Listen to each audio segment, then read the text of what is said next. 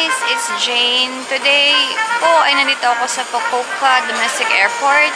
Actually po, dapat po kahapon pa yung flight ko going to going to Okinawa. But my flight from Manila to Fukuoka was delayed. Kaya po, hindi po ako nakaabot sa aking connecting flight from Fukuoka to Okinawa. So, anyway, I stayed at an onsen. Onsen is a hot spring bath in um, English.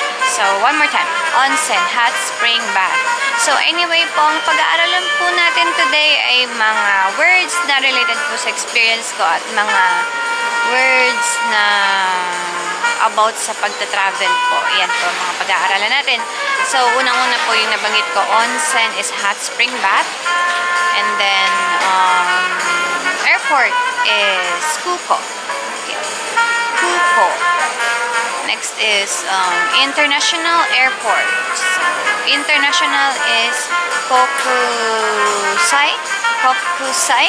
Kokusai.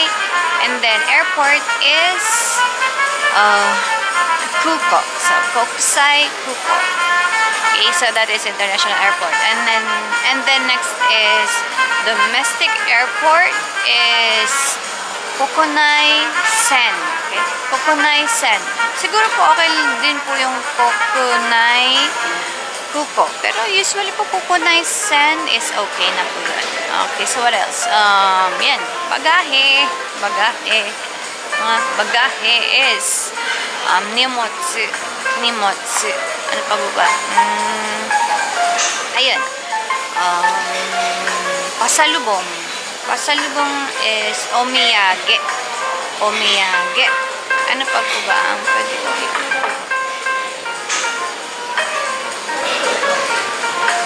Restaurant?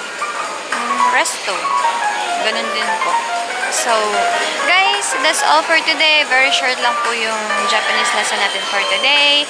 And see you next time. Bye!